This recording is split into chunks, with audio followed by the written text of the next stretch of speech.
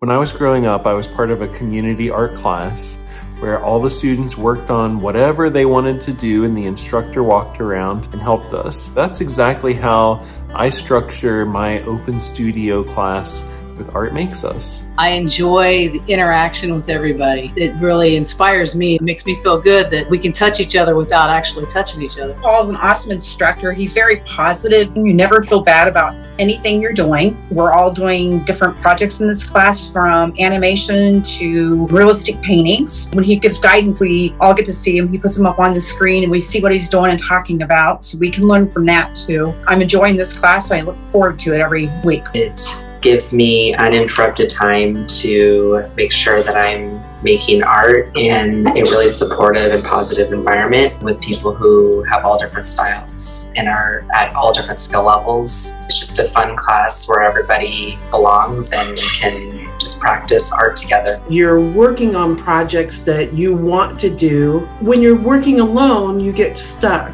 And it's great to have the studio class where you can get the advice that you need to move forward. And I have learned so much. This is sort of like an art colony, only we're all over the place. You learn so much from just listening, watching other people, their process. Not too often do people say something I do is awesome, but I get that here, so it's just very uplifting. It just really helps me personally, innerly feel good. I love this class for a gazillion reasons. I wouldn't be the, oh, now I'm gonna get weepy, this is so embarrassing. I wouldn't be painting the way I am painting now if I didn't have your support. And I love the community. It's really wonderful to see all the beautiful things that people create and people's work kind of gets in my psyche, I think. And there's like fun cross pollination. It's just a really wonderful, wonderful space. This class has helped me stretch in so many ways in a very good direction. I feel like I'm learning and growing in a very supportive, nurturing community